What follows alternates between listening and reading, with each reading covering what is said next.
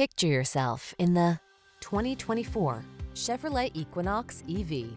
Now is the perfect time to start a fresh new chapter in your traveling life. Take a closer look at this vehicle.